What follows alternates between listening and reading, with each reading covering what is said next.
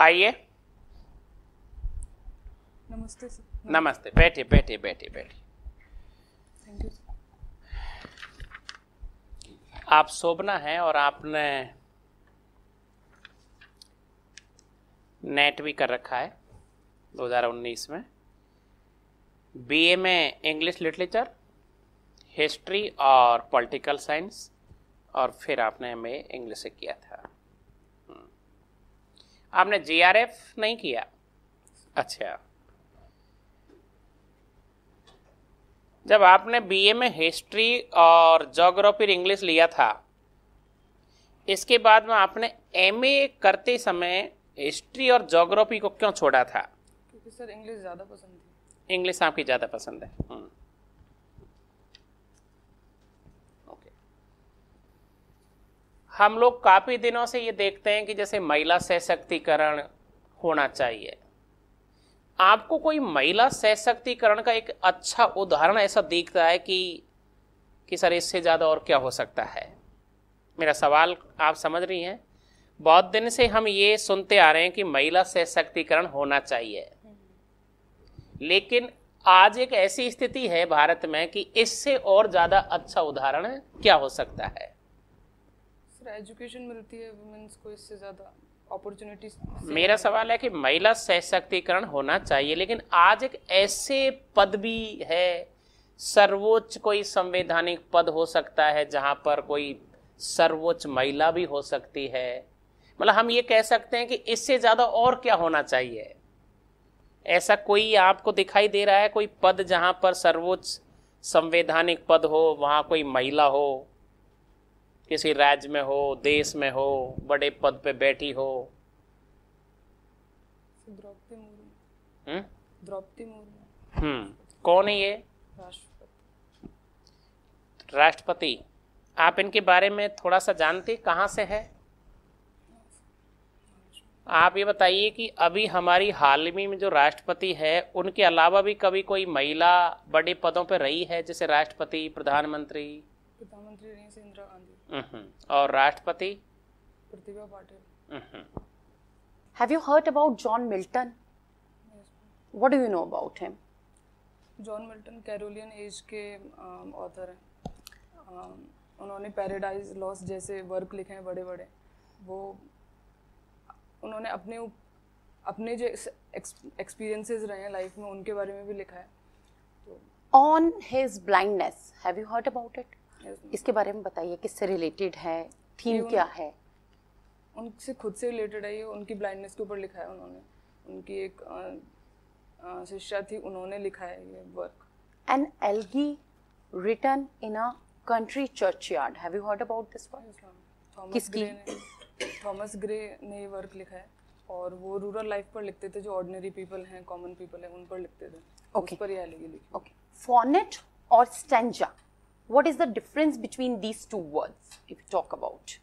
what is differences between mother tongue and national language basic अंतर Mother बताना अ, जो ordinary people बोलते हैं और नेशनल जो ऑफिशियली यूज़ होती है national language। राजस्थान गवर्नमेंट स्कूलों में अंग्रेज़ी माध्यम लागू करना चाह रही है एक तरफ़ विरोध भी हो रहा है वो अपनी जगह है लेकिन सरकार के सामने इंग्लिश मीडियम स्कूल बनाने से कौन कौन सी उसके सामने चुनौतियाँ हैं कौन कौन सी समस्याएँ हैं कि वो धरातल पर लागू हो नहीं पा रही है या मुश्किल है उसके लिए?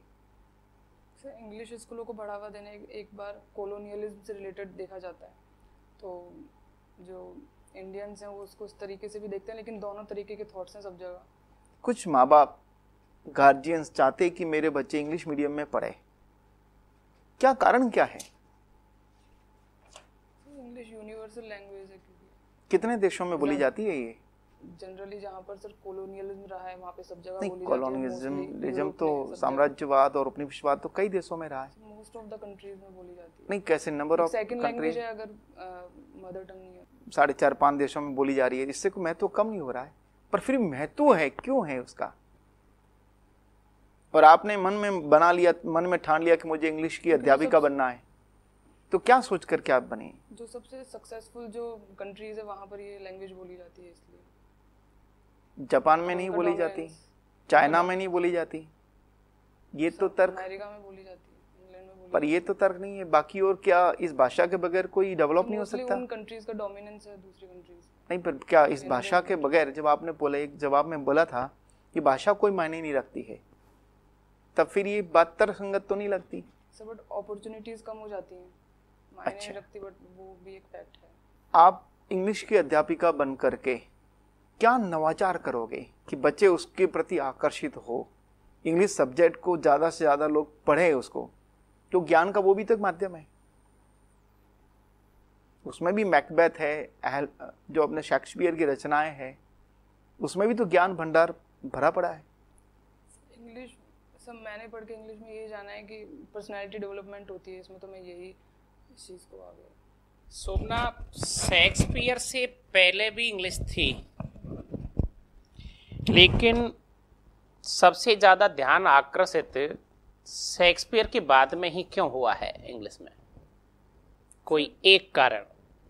जो जॉनरास चले आ रहे थे पहले से हम्म जैसे ट्रेजेडी हो गई हम्म। कॉमेडी हो गई उसमें लिखा जा रहा था। बट इन्होंने एक नया जॉनरा स्टार्ट किया ट्रेजिक कॉमेडी। तो उससे और ये जो कॉमन पीपल हैं उनकी लाइफ से रिलेटेड लिखते थे। वेरी गुड तो फिर इन्होंने इनके जो नाटक थे और इन्होंने जो लिखा था उसको जैसे सुखांत और दुखांत। सुखांत और दुखांत का कोई एक एक उदाहरण बता सकती हैं आप? कॉमेडी जैसे मैरी वाइफ्स ऑफ़ विंसोर और ट्रेजेडी जैसे टाइटस एंड एंड्रोनिकस जो इनकी फ़र्स्ट ट्रेजेडी सबसे प्रसिद्ध कौन सा इनका ग्रंथ है? हेमलेट हेमलेट आपकी कोई हॉबी बताइए। बुक रीडिंग जो फिक्शन नॉन फिक्शन जो है बुक रीडिंग अभी। आप में ऐसे कौन से दो गुण हैं जिनको देख कर के टीचर तो आप खैर हो गए असिस्टेंट प्रोफेसर हो भी चुके हैं आपका सिलेक्शन भी हो गया लेकिन ऐसे दो गुण कौन से हैं जो विद्यार्थी खुश होते हैं आपको देख के? इंग्लिश पढ़ाने में मेरा डिवोशन रहेगा। हम्म, बिल्कुल समर्पण बिल्कुल। एज ए स्टूडेंट मैंने जो प्रॉब्लम्स फेस करी है मैं उसको साइकोलॉजी समझ पाऊँगी स्टूडेंट की तो। Thank you